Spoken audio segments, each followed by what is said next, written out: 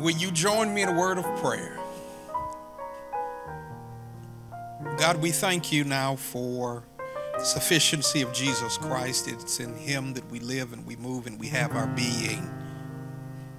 It's because, God, of your presence that we have nothing to fear. And so now, God, as we open up the book, we pray that you would breathe on us all that you'd allow the words of my mouth and the meditation of all of our hearts be acceptable in your sight. You are our strength. You are our Redeemer. We're believing you now to move someone to the point of faith and decision. It's in Jesus' name that we pray. And all of God's people said, Amen. Well, brothers and sisters, I want to invite your attention back to Revelation, Revelation chapter 3, as we continue our series, Rooted.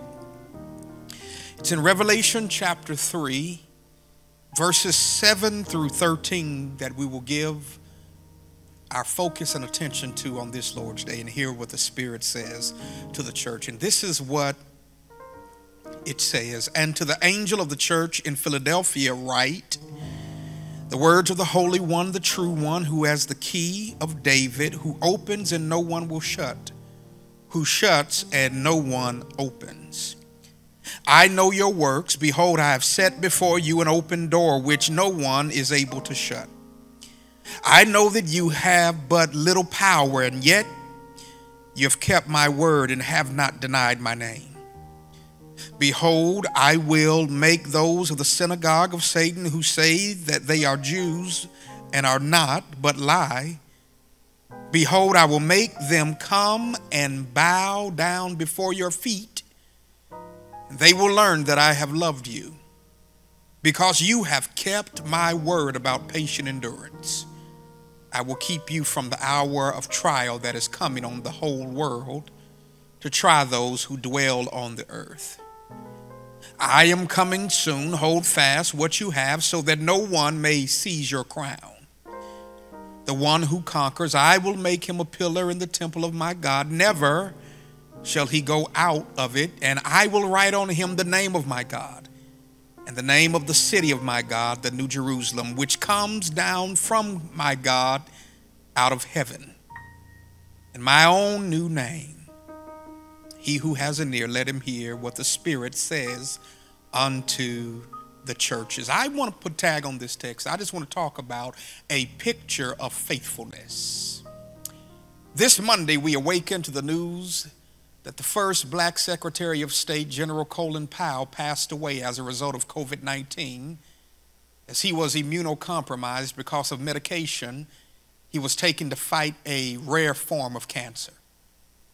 As eulogies poured in from around the world of his legacy, he is a testament that it doesn't matter where you start out, God can take you places you would have never imagined you would be. Powell was born in Harlem, New York, raised in the South Bronx. After graduating from Morris High School, he matriculated at City College of New York, where he would be a mediocre at best student. Nevertheless, by the end of his life, he has ascended to being the chair of the Joint Chiefs of Staff and the Secretary of State. When you stand back, it was not because of his pedigree or graduating from a prestigious educational institution. His life is simply a testament to the favor of God and his own faithfulness. Such tenacity, perseverance, endurance, and faithfulness is demonstrated by this church in Philadelphia. Just so that we are clear, we're not speaking of the city in Pennsylvania. But remember, we're in Asia Minor, modern day Turkey. Philadelphia was a city that was erected with the intention of being a cultural hub of Greek culture. While other cities were military outposts, this city was an outpost for the spread of Hellenism. So much so that it was strategically and intentionally located at the junction of several important trade routes, which gained it the name Gateway to the East. It's here in this city of brotherly love that there's a little congregation of believers We know they are a little congregation because in verse 8, when Jesus says they have a little power, this is not meant in a pejorative sense. It's actually meant as a commendation to this congregation that though they were small in numbers, they are demonstrating considerable strength. It's so much so that in a city where they are significantly outnumbered, Jesus still has an expectation that they can make a big impact. He proves this because, as we will see in the text, Jesus says explicitly that he has placed before this church an open door. Possibly this church teaches us all a valuable lesson that wherever we are in life and whatever we have, it might just be where God wants us to be and what God wants us to have to demonstrate to us that even in seemingly unfavorable circumstances, God can do some of his best work through us. This is just the word that somebody needed to hear on this day. Somebody who's frustrated at where you are in life because it's not where you hope to be. Could it be that it is where God intends for you to be and a place where God can get the greatest glory out of your life and where you can produce the most fruit? We need to get over our somewhere syndrome that causes us to think that success, happiness, fulfillment, and joy are somewhere other than where we are right now. This church is a witness to all of us that God's strength is made perfect in our weaknesses. It's a testament that greater is the one who lives on the inside of me than he that is in the world.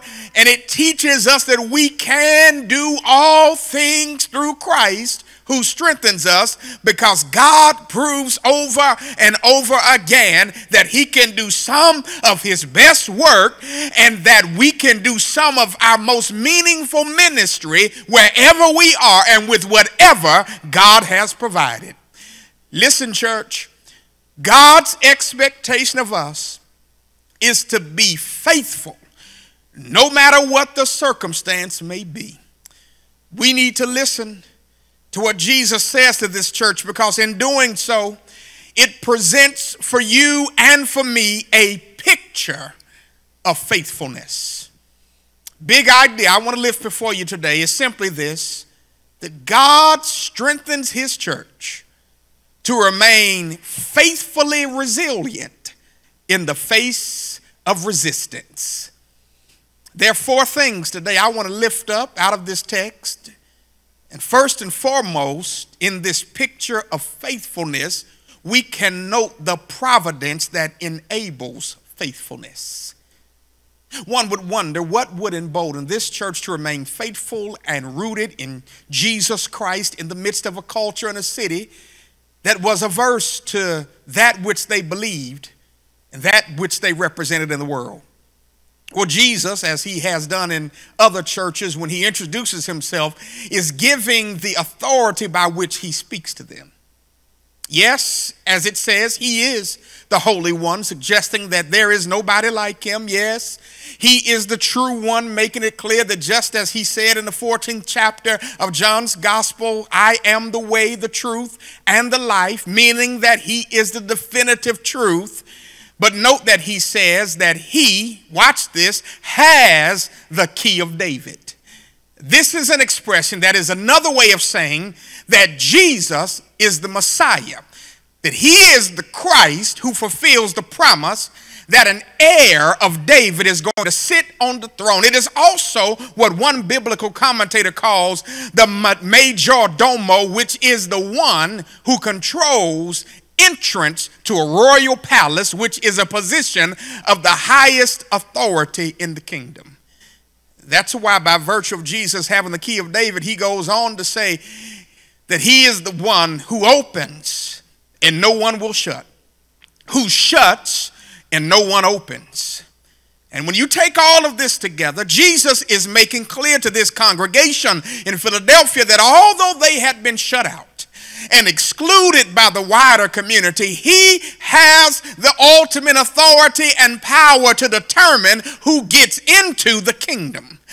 And while they were alienated, ostracized, and marginalized, Jesus lets them know that they are actually a part of the in crowd because Jesus is the one who is, is the one who's going to determine who gets into the kingdom.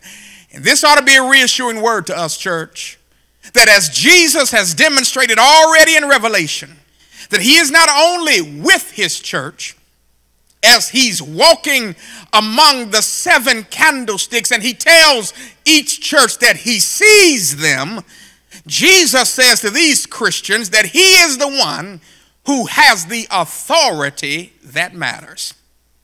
I know that there are some rooms that we might desire to be in, but integrity and holiness either facilitates conviction or exclusion. When you genuinely allow your beliefs to become evident in the way that you live, it's going to place you in a predicament that will cause you to take a stand. As a result of your stance or your stand, you draw a line in the sand, or say, as some say, pick a side. And when this happens, the invitations are going to stop coming. The calls are going to become few. The text messages stop. You are unfriended on social media. Then on the inside, exclusion begins to take a toll on you, and you're tempted to compromise what you believe for acceptance.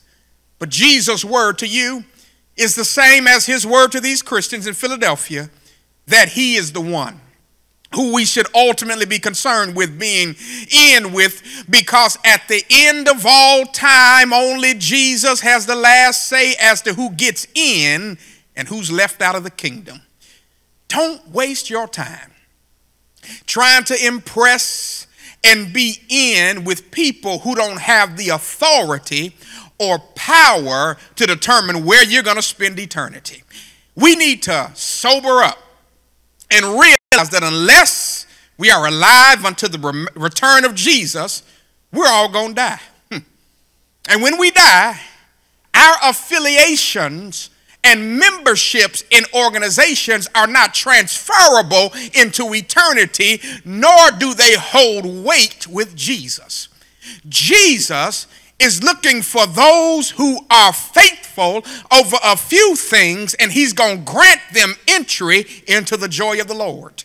Remember what Jesus said in Matthew 25 that when the Son of Man comes in his glory and all the angels with him, then he will sit on his glorious throne. Before him will be gathered all the nations, and he's going to separate people one from another as a shepherd separates the sheep from the goats. And he will place the sheep on his right hand, but the goats on the left. And then the king will say to those on his right, Come, you who are blessed by my Father, inherit the kingdom prepared for you from the foundation of the world. Jesus has the last word on your destiny because he has the authority to determine who gets in and who gets cast out. Now, I want you to secondly look in this picture of faithfulness at the proof of faithfulness. Notice Jesus' words of commendation for this church in verse 8. And in the A portion of verse 10, Jesus says, I know your works. Behold, I've set before you an open door which no one is able to shut. I know that you have but little power, and yet you have kept my word and have not denied my name. From Jesus' vantage point in his assessment, these believers had proven their faithfulness. We can see this in a number of ways. We see it because without knowing specifically what their works were, Jesus has evaluated their works. And based on his evaluation, he has great expectations for their proven faithfulness because he beckons their attention when he says, Behold, which means, Look, I've set before you an open door. And this open door is a metaphor, it is an image to express that he has presented them with an opportunity. That opportunity is found in where they are. Philadelphia is a bastion and a citadel of pagan culture and is located at this intersection of roads, placing it strategically in a place where Hellenism can be exported across the known world. So, for these Christians, Jesus is literally saying to these believers, despite the culturally cultural circumstances you find yourself in, use where you are as an opportunity to take the gospel as far as you can as the competing culture is attempting to take their customs, their beliefs, their practices to the end of the known world. Just as they believe in Jesus, their faithfulness gives Jesus reason to believe in them to make the most of the opportunity they have been given. And to punctuate this opportunity, Jesus says that this door that has been opened to them cannot be closed by anyone or anything.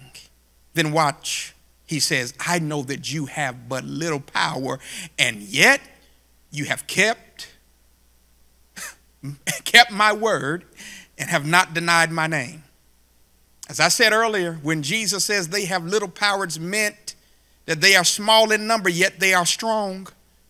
This small but mighty congregation demonstrates faithfulness in the reality that they have stayed committed to Jesus' word and have not denied his name.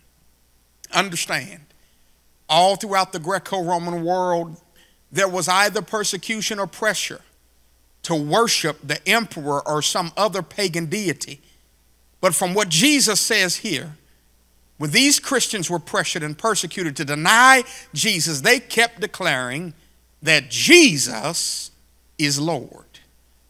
Then note in verse 10, Jesus says, Because you have kept my word about patient endurance, they have remained committed while bearing the weight of their witness in a world that does not want anything to do with them. And church, I've got a question for us. What does Jesus see when he looks at us individually and as members of the community of faith? Have we proven ourselves faithful to the point that Jesus can entrust us with an open door that we will take advantage of to expand the kingdom and extend the gospel unto the ends of the earth? Or do we make excuses because of what we perceive we do not have other than seeing the possibility of what can be? Have we capitulated to the culture that surrounds us, compromising our witness and the Christ who saved us? This, I believe, is the internal interrogation that the church and Christians alike have to have as we emerge from this pandemic. Now more than ever, God will be looking for his church to be faithful.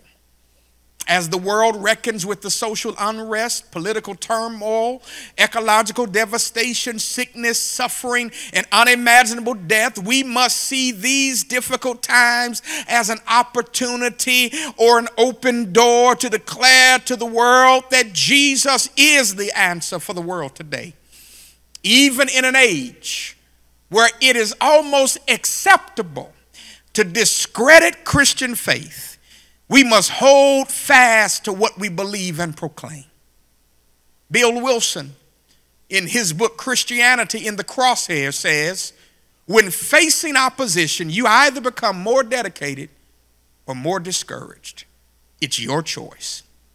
Sisters and brothers, we have a choice to allow the reality we've been presented with to discourage us and make us want to give up or we can become more dedicated to the call. And I wish there were a few people who would not mind affirming that they've decided to follow Jesus, no turning back. As a matter of fact, drop that in the chat, drop it in the comment section. Say, no turning back. You've got to get to the point where you say, though none go with me, still I'm going to follow. The world is behind me, the cross is before me. No turning back. But there's a third thing, church. When it comes to a picture of faithfulness that we've got to take note of, and that is the protection in faithfulness.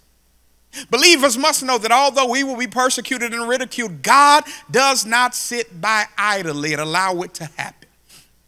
Listen to what Jesus says in verse 9 and the B portion of verse 10. He says, Behold, I will make those of the synagogue of Satan who say that they are Jews and are not, but lie. Behold, I will make them come and bow down before your feet, and they will learn that I have loved you.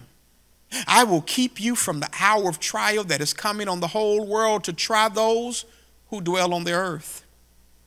Again, the reference to the synagogue of Satan is not intended to be anti Semitic. Craig Keener says believers in Philadelphia experienced conflict with the local synagogue.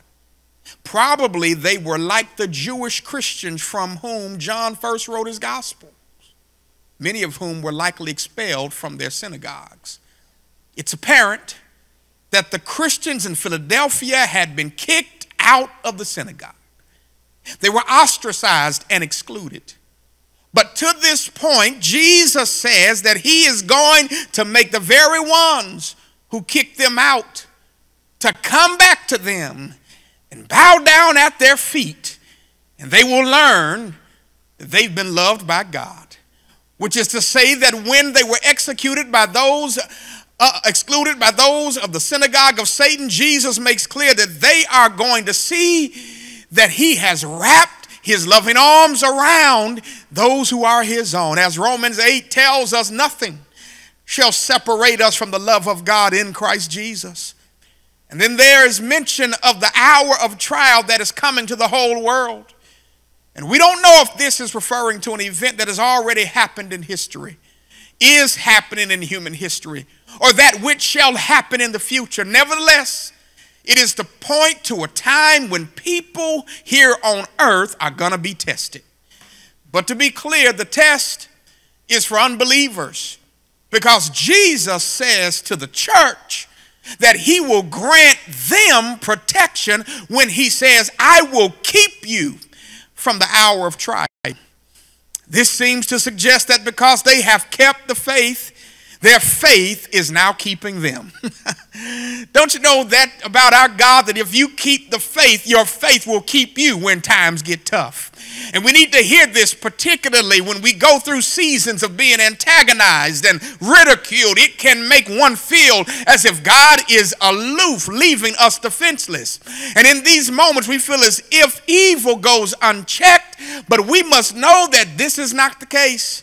What we know about our God is that in the midst of it, He can give us grace sufficient to bear it, protection while we face it, and the assurance that ultimately He's going to deal with it.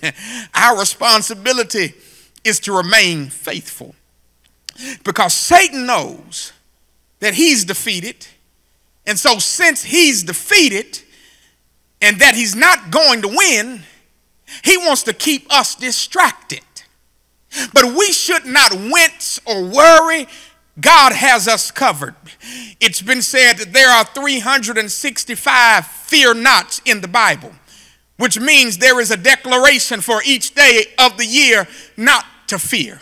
But just in case you need some quick reference, head on over to Psalm 37 where the psalmist writes, Fret not yourself because of evildoers, but be not envious of the wrongdoers, for they will soon fade like the grass and wither like the green herb. Or go on over to Psalm 91, where it says, You will not fear the terror of the night, nor the arrow that flies by day, nor the pestilence that stalks in the darkness, nor the destruction that wastes at noonday. A thousand may fall at your side, ten thousand at your right hand, but it will not come near you. You will only look with your eyes eyes and see the recompense of the wicked. Or go on over to Isaiah 43 where it says, But now thus says the Lord, He who created you, O Jacob, He who formed you, O Israel, fear not For I have redeemed you. I have called you by name. You are mine. When you pass through the waters, I'm going to be with you. And, when, and through the rivers, they shall not overwhelm you. When you walk through the fire,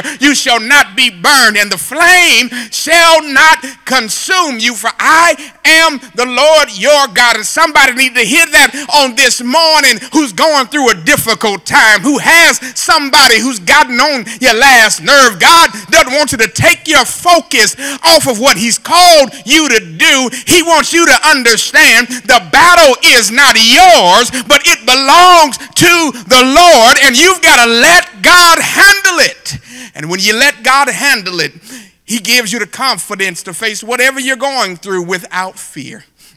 For God hadn't given us a spirit of fear, but He's given us one of power and of love and of a sound mind. I close fourth and finally when it, I have to note with you the promise for faithfulness.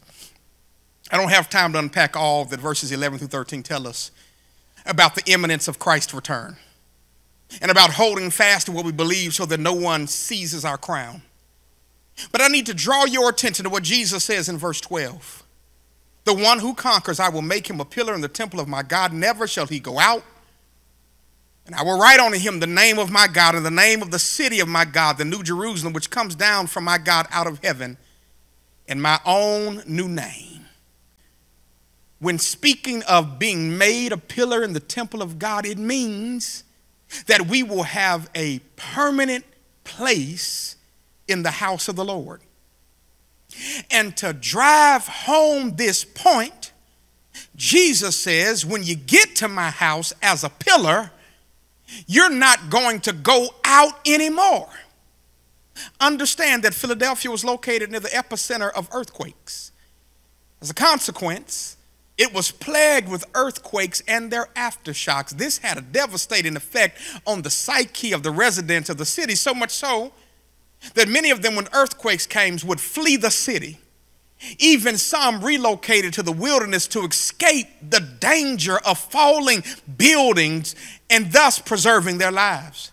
So when Jesus says that those who overcome will go out no more, he is saying that contrary to your past experiences, when your world was rocked and when you shall be translated from mortality to immortality, when you go through from being transported from labor to reward, from this terrestrial ball to the celestial shore, and from temporality to eternality, these people will never have to leave the house of God because in God's house, there is safety and security. And if you haven't caught it yet, Jesus is talking about heaven, which is that incorruptible kingdom. My brothers and my sisters, when it seems that your world is crumbling beneath your feet and everything around you is falling to pieces, when it seems that the only thing that is certain is that things are uncertain, our God in Christ calls us to hold on and don't give up. Because God has given us a hope of a place in his eternal kingdom. I love it when that songwriter tells us time is filled with swift transition.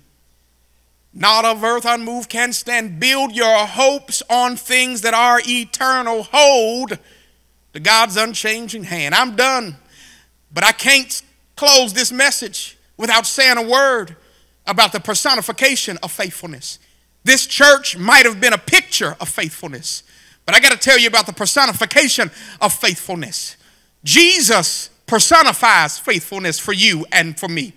He was uh, the one who was under the scrutiny of his opponents and the destiny of the Father's will, but who went to Gethsemane to pray. And when he play, prayed about the spirit being willing and his flesh being weak, he had to say to God, It's not my will, but thy will be done. Jesus is the ultimate picture of faithfulness, so much so that the writer in Hebrews chapter 12 and 2 says that we should keep looking to Jesus, the founder and perfecter of our faith who for the joy that was set before him endured the cross, despising the shame, and is seated at the right hand of the throne of God. He personifies faithfulness, and it is why Paul had to write a hymn of praise to Jesus in Philippians chapter 2.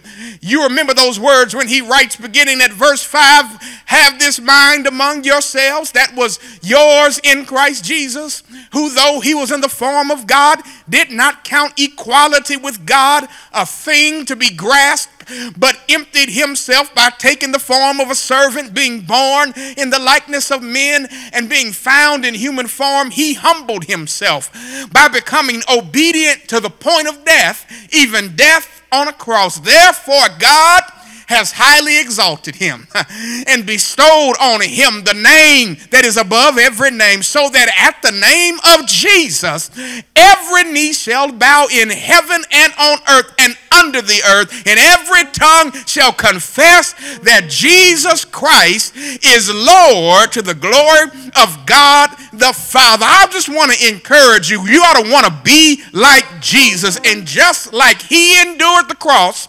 despising the shame, and is now seated at the right hand, you and our brothers and sisters must remain faithful.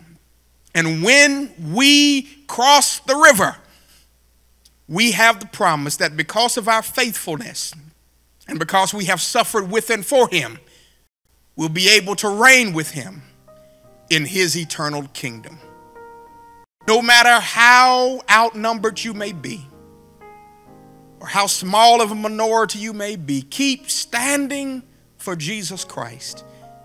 And when you stand for Jesus Christ, you have his presence and providence that will always be with you. You'll know that he will grant you protection. You'll know as well that we have a promise before us that one day we're going to leave this earth and we're going to spend eternity with Jesus Christ. My brothers and my sisters, there are those of you who are watching who need to make a declaration of your faith, knowing that Jesus died for you, that he is risen from the dead, and that he is Lord. You need to invite him into your heart. And if you do that, he'll forgive you of your sins. He'll redeem you. He'll give you the hope of eternal life. You ought to make a decision today that as you leave from this moment, you can tell somebody, I've decided to follow Jesus.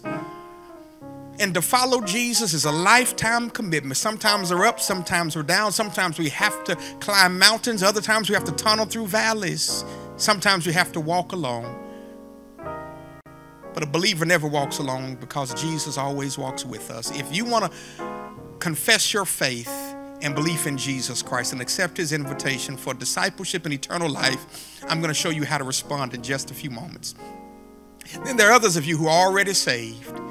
You've been journeying the journey of Christian discipleship for some time now.